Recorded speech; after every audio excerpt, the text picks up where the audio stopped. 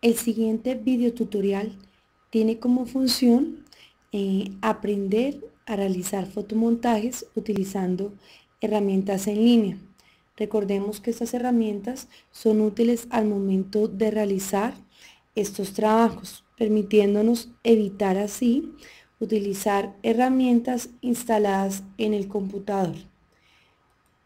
Los invito a ingresar a unos sitios especializados en estos eh, fotomontajes como lo son Photofugna, como lo son Infobox, como lo es también Foto 505, Lonapic y muchos otros. Veamos ahora cómo hacer un efecto, un fotomontaje en cualquiera de estos sitios. Lo primero que debemos hacer en este caso es ingresar eh, a la página,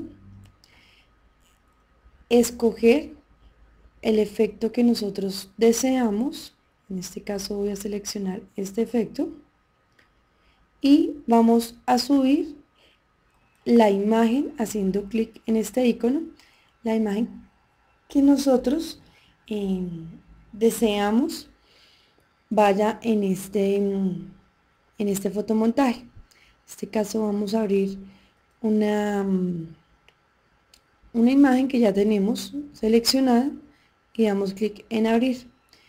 Esperamos a que cargue la imagen que seleccionamos y automáticamente nos va a salir el fotomontaje que nosotros elegimos. Hay varias opciones para guardar esta imagen. La primera es haciendo clic sobre este icono en el cual nos permite guardarlo en el disco duro. Nos permite guardarlo como una imagen, como un avatar. Nos permite generar un código para insertarlo en nuestros blogs o en nuestras páginas.